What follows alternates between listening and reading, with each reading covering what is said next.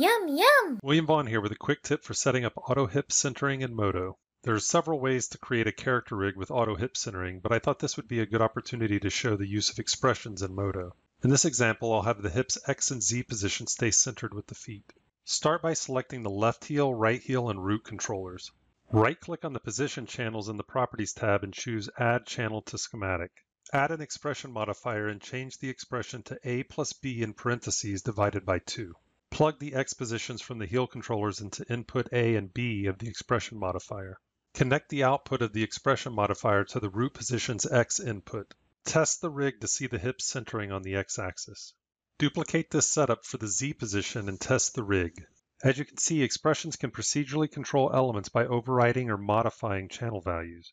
This can be an easy way to cut down on keyframes by automating portions of your animation. Oh, look at the time.